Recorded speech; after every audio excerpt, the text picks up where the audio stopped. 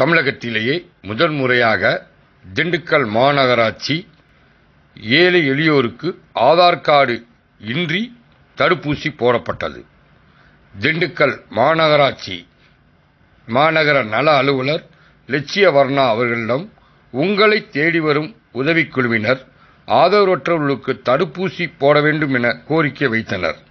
அதனை ஏற்றுக்கொண்ட அவர் திண்டுக்கல் எம்இஎம் கல்லூரி அருகே உள்ள ஆதரவற்றர்கள் வசிக்கூடிய இடத்திற்கு நேரடியாக வந்து தடுப்பூசி போடும் நன்மைகள் குறித்து விழிப்புணர்வை ஏற்படுத்தினார். அதனை ஏற்றுக்கொண்ட பொதுமக்கள் தடுப்பூசி போட ஒத்துக்கொண்டனர். அன்று மாலையே அந்த ஏழை எளியோருக்கு கோவாக்சின் எனப்படும் தடுப்பூசினை மருந்தினை சுமார் நாற்பதுக்கு மேற்பட்ட அந்த நபர்களுக்கு மருத்துவ குழுவினுடன் வந்து தடுப்பூசி போடப்பட்டது. இதனை பார்த்த அப்பகுதி மக்கள் மாநகராட்சி நகர்நல அலுவலர் லட்சியவர்ணா மற்றும் மருத்துவ குழுவினரை மனதார பாராட்டி சென்றார்கள்.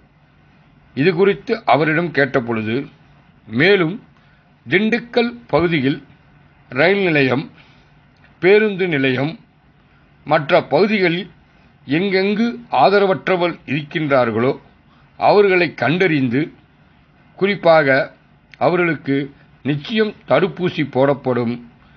திண்டுக்கல் பகுதியில் உள்ள இவர்களை கொரோனா என்ற தொற்று நோயால் காப்பாற்றப்பட வேண்டும். திண்டுக்கல் மாநகராட்சியில முதல் முறையாக ஆதரவற்றவர்கள் வீடு இல்லாமல் இருப்பாங்க சாலையோரத்தில் இருக்கக்கூடிய நபர்களுக்கு இதுவரைக்கும் சொந்த எந்த ஒரு ஐடி ப்ரூஃபும் இல்லாத நபர்களுக்கு இங்க நம்ம கொரோனா தடுப்பூசி விழிப்புணர்வு முகாம் இங்க ஒரு முப்பது நபர்களுக்கு மேல வந்து சிறப்பு முறையில தடுப்பூசி முகாம் செஞ்சிருக்கிறோம். திண்டுக்கல் மாநகராட்சி சார்பு வந்து மேலும் இதே போல ஆதரவற்றவர்கள் இருக்கக்கூடிய நபர்களுக்கு ஒவ்வொருவராக கண்டறிந்து அவர்கள் இருக்கும் இடங்களுக்கே சென்று தடுப்பூசி வழங்கும் என்ற தகவலையும் தெரிவித்துக் கொள்கிறேன். சொந்தம் இல்லை